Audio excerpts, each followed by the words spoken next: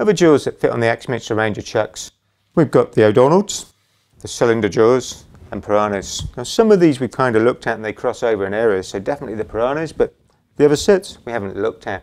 These are quite unique in what we do, and they have some specific aspects that we can use them for. On the top of the O'Donnell, we have a dovetail inside and out. That's repeated right way across the range, so you can use to expand into the bottom of the bowl or compress down on. So very versatile for that. So you can do your spigot recess, or you could have a straight spigot. Either side on here, in reality, you could expand out in, contract out on. So we have 25 mil, 37 mil, 50 mil. Then we have the cylinder jaws, which will be 25, 50, and then the piranhas. The sizes again will be printed on the website. So it's worth looking at what those sizes are because you have an internal and external size on each. So pretty much everything in front of me here has been used and held using the O'Donnell. So things like the hollow pot, we can actually hold smaller diameter, quite small as a hollow form. By actually holding small, it gives us more access to continue our shape round. Things like our box here, we've got the shape. We've actually extended the curvature here as much as we can when we're turning it. So by holding on a smaller set of jaws, they give us more access, which we're going to look at a little bit on the labour here. So most of the objects on here, that's how we've held things. So for our box design we have, we've got quite a bulbous shape around here. We've got our lid that can come off. Now our shape around here, as much as we can extend it can be really good at this stage. Help build the shape while we're turning, give us an idea of the wall thickness and measure. We've deliberately taken one of the jaws off the chuck so we've got this open gap.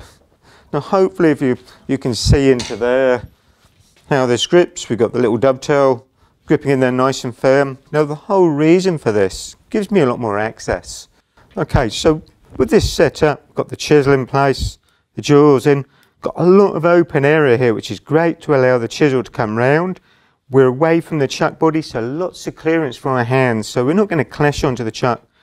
So we've got a lot more access to get in behind here, so it helps build the shape. So this is where the O'Donnells, the spigot jaws and the cylinder jaws really have a use give you more access on here, be it a bowl, a hollow pot, extending that shape can be really useful.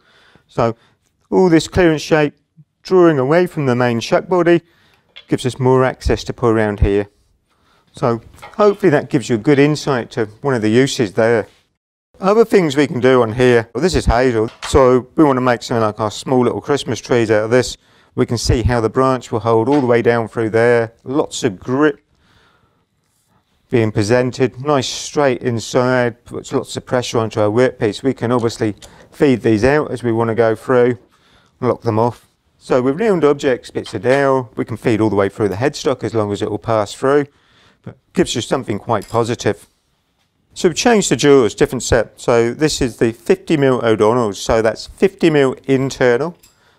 So if you're doing something polyester resin, can be really good with these because it gives you a way of actually holding a long way down, physically gripping it. Obviously the 25mm ones will do the smaller size, the 50mm fit straight into here. Now the advantage with this, if you mount this between centres, it's very brittle, so the centres can actually crack or break the polyester resin. But going this way, we can actually mount it quickly, turn something as a spigot to hold it, cut them to length, turn whatever shape you want. So very useful for that. Things like the salt and pepper tops, I can put onto there, do a dovetail, allows me to do that. That's quite easy. Something like our bowl, rough turned. Again, I tend to try and leave that spigot inside. Gives me a way of putting it on here. Now you might need a long key for this, but you can actually grip down onto that spigot, hold it in place, allows you to remount it, turn the outside shape. So by having that extended length, allows us to grip right down inside the bowl really nicely. Okay, so with the 50mm jaws, one of the things we can actually do is use the inserts to make them the different sizes. So in reality, we have 37, 25. So these literally, we take our jaw, they bolt in the side. So this is a way of just adapting each of those to give you more sizes, complete the range if you like. So instead of buying three separate sets of O'Donnells, you could actually have the big set and the inserts that just bolt in. So again, that gives you a way of just making everything a bit smaller. So we've gone 25s, but this would allow us to go down in size. We can up them up we can grip into there. We can take that out. We've obviously got a dovetail on the top, inside and out again. So again, for smaller work, really good for that. Having put the inserts in, we've reduced the size down from the larger size 50mm. This is going all the way down to 25, but well, one inch resin, we can put that down the center, we can grip that. Nice and secure, easy way of converting. So one set of jewels, you could actually add on the different inserts, get three different sizes. So it adds a lot more variety to what you can do. Again, you've got your dovetail inside and on the outside edge. So you can use it to go into the bottom of a bowl, expand out, contract down on. So really useful for that. The other major thing, you're drawing your hand away from the main metal bit, the chuck.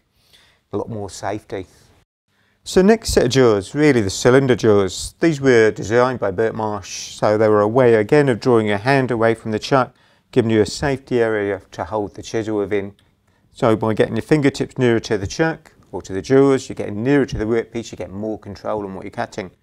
So again, a couple of unique things on these. We've got long, deep, clear hole, if you like, through the centre. So this lovely clear drilling mark down through.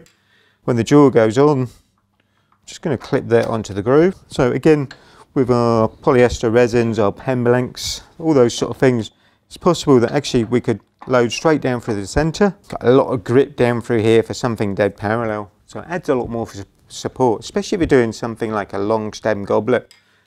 On both the jaws we have a dovetail on the top, okay, so we can grip internally or externally so we can expand into the bottom of the bowl. We can come down onto it, compress it.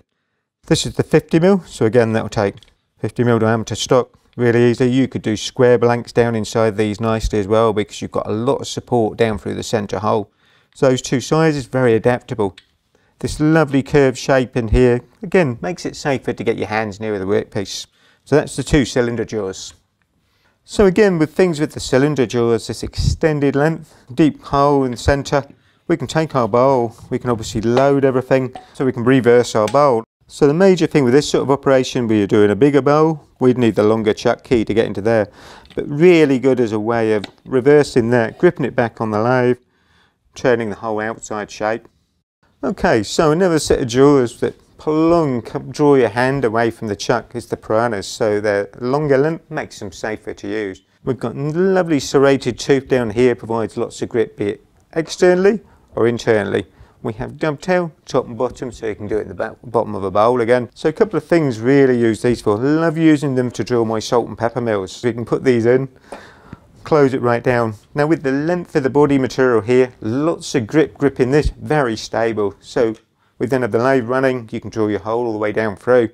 So you come to about halfway and then I find it easier. To turn it round, drill the other end. So this allows us to center it quickly, very versatile to do, but extremely safe on holding those longer lengths due to that extended length.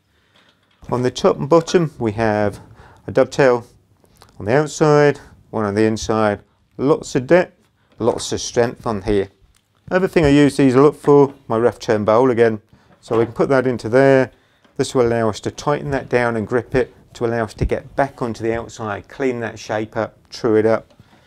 Then obviously we can reverse it, re-grip on the foot. So very versatile for that sort of scenario.